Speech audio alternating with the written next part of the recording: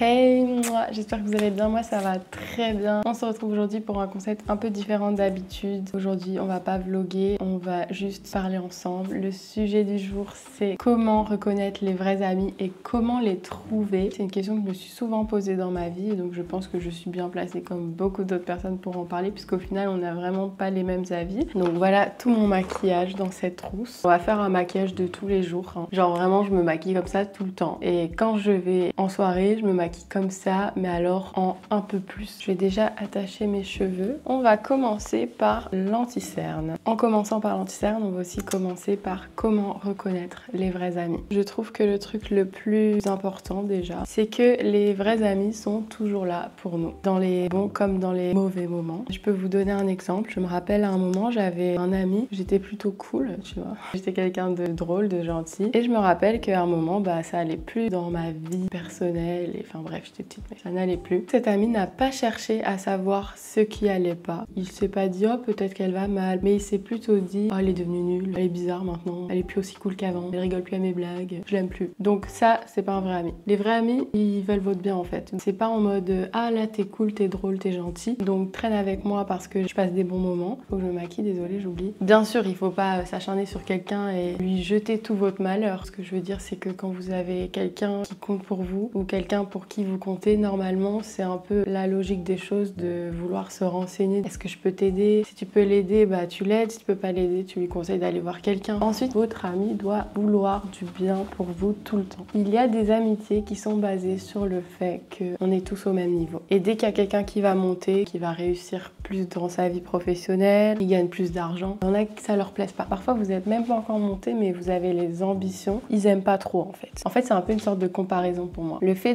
de traîner avec quelqu'un parce qu'il est à ton niveau. Et si il monte, il t'intéresse plus parce que oh, il fait trop le gars. Pour moi, c'est juste de la jalousie. Ça veut dire que tu te compares à ton ami. Ça veut dire que quand il est à ton niveau, tu te permets de te dire ah moi je suis aussi bien que lui ou bien ah là je suis mieux parce que j'ai fait ça. Mais le jour où tu peux plus le faire, ça te dérange. Et parfois c'est pas de leur faute. Hein. Parfois c'est des gens qui ont un mal-être et qui sont jaloux de toi ou jaloux de tes ambitions ou qui comprennent pas tout simplement. On n'est pas tous les mêmes. Il y a des gens qui ont grandi dans un environnement qui fait qu'ils ont pas forcément autant d'ambition que d'autres. C'est tout à fait normal. Moi, j'accepte ça, mais il faut pas leur en vouloir s'ils ont moins ou plus d'ambition que toi. Ensuite, les vrais amis, ce sont, je mets du fond de teint là, hein. j'en mets un peu partout. Ce sont les personnes avec qui tu te sens toi-même. Tu n'as pas besoin de changer ta personnalité, de changer ton physique même possible. Tu n'as pas besoin de jouer un rôle. Parfois, on va à une soirée, ou bien on va à un endroit, on va à un pique-nique, peu importe. On va voir des gens qu'on ne connaît pas et on se sent pas à l'aise. Et puis il y en a qui forcent, qui essayent de s'investir, etc.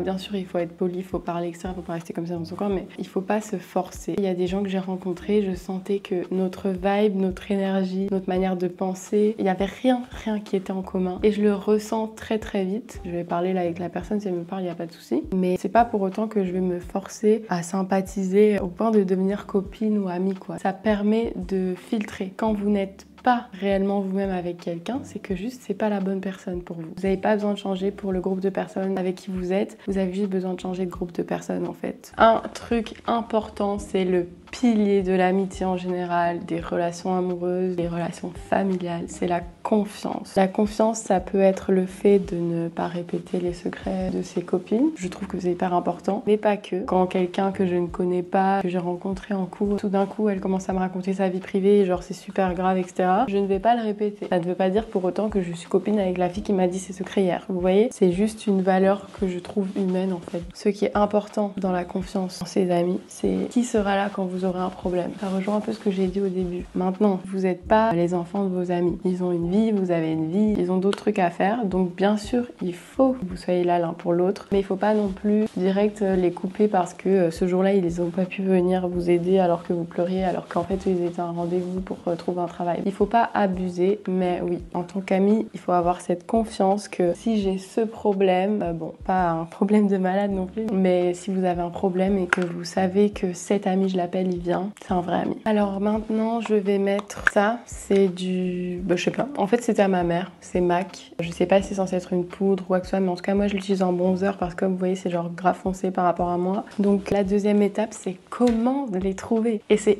hyper important de bien s'y prendre parce qu'en fait, c'est ça qui va déterminer votre amitié. J'ai du bronzer ici. J'aime bien en mettre ici aussi. J'ai jamais vu quelqu'un faire ça, mais je trouve que ça affine grave le nez. Ça le rend vraiment beau, quoi. Vous assombrissez sur les côtés comme ça.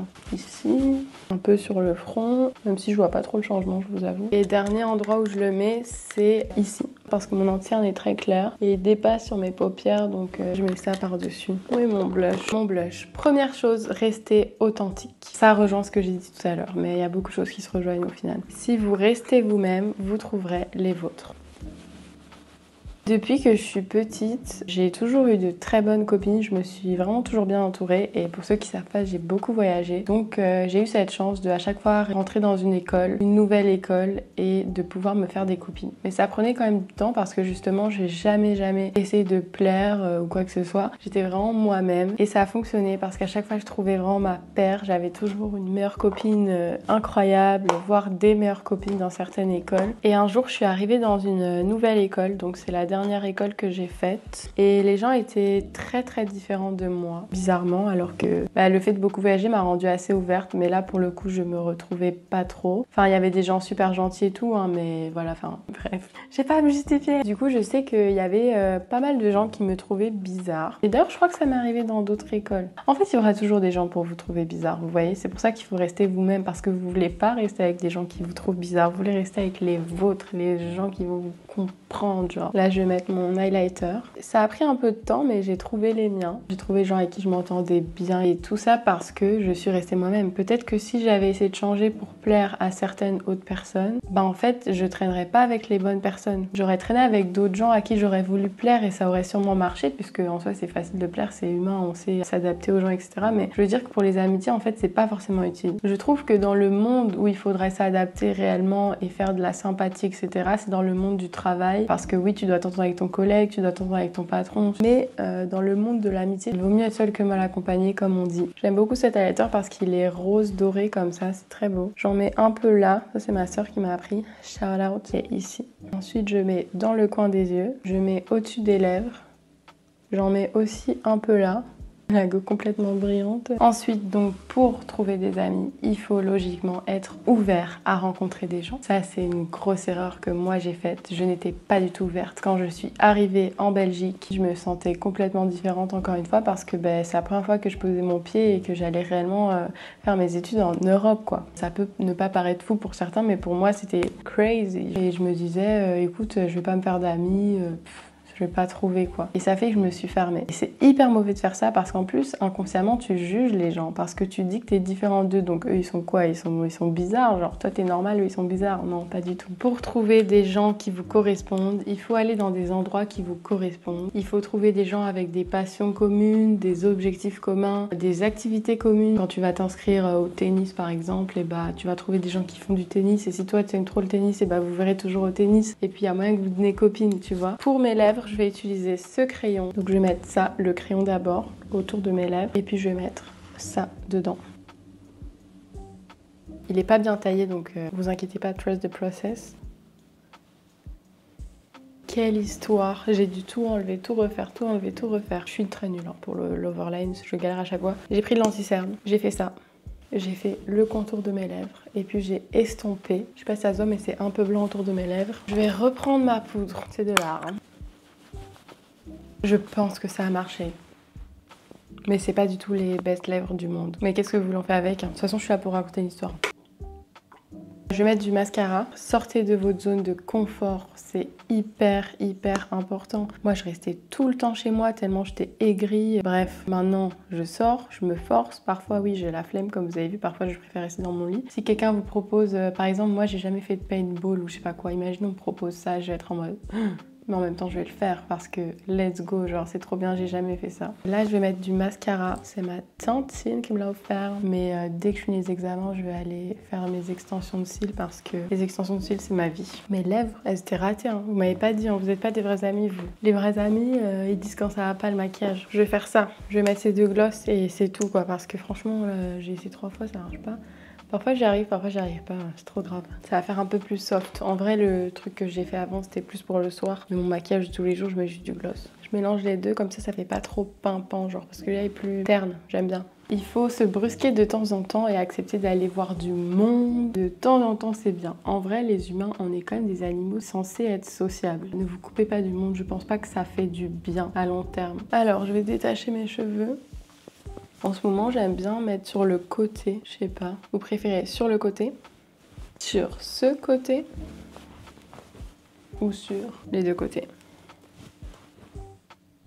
ben voilà, mon make-up est fini. Pour conclure, vous méritez d'être bien entouré. Ne baissez pas vos standards. Ne vous faites pas une image aussi du meilleur ami parfait. Ah, moi, je devrais travailler avec des gens qui s'habillent trop bien, qui mettent des jeans baggy, qui mettent des bottes noires en mode stylish, qui sont cool, euh, qui ont environ 100 000 followers sur Insta. Bref, vraiment, j'ai entendu des folies. Ne vous dites pas ça parce que là, Franchement, j'ai doute que vous allez bien être entouré si vous vous entourez que pour ça. Il faut juste laisser les choses se faire et vous allez rencontrer des gens qui vous conviennent naturellement. Peu importe leur physique, leur image, ce qu'ils font dans la vie, etc. Bien sûr, je vous dis pas de sortir avec des, des bandits, etc. Mais ne vous limitez pas. Au final, il n'y a pas de secret miracle. C'est vraiment suivre votre instinct, vos envies, respecter votre personne et dites-vous que vous méritez d'être respecté et d'être aimé. Et si c'est pas le cas, vous trouverez, vous inquiétez. J'espère que vous avez aimé cette vidéo et je vous fais plein de bisous. Et on se voit euh, mercredi. Bisous bisous.